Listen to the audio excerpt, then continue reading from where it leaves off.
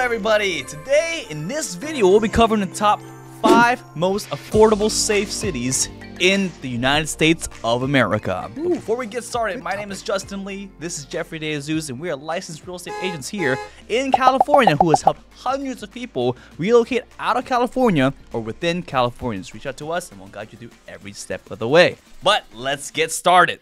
At number 5, which is Plano, Texas. Plano, Texas ranks ninth for overall safety. It's the fifth most affordable of the 200 cities in this study. That's because median annual housing costs of $18,000 or 20% of the median annual household income of $93,000. so Jeff, let's hop into number four. What is that? Number four, Frisco, Texas. Not only is Frisco the safest city in the United States, according to our metrics, it's also among the most affordable.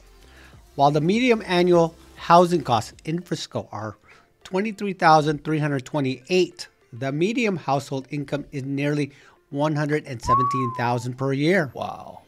As a result, housing costs are less than 20% of the medium annual household income. And so, Justin, Yes, give sir. us number three. Number three is Laredo, Texas, located on the Texas Mexico border. Oh.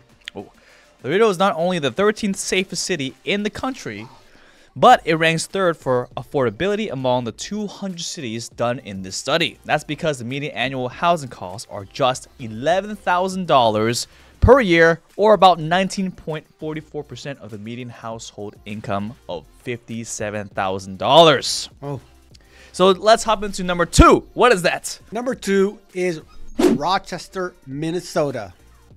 Located in the southern corner of Minnesota, Rochester is the second most affordable, safe city in the United States. Medium annual housing costs in Rochester are just 17.53% of the median household income, which is 74,527. Meanwhile, the city of about 119,000 people, ranks 33rd overall for safety. And Justin, let's go with the last one. What is number one? Number one is Cary, North Carolina. While Cary ranks seventh for overall safety, it's also number one for affordability among the 200 cities done in the study. Median annual housing costs of $17,304 in this suburb of Raleigh are just 16.28% of the median household income, which is $106,000. Wow.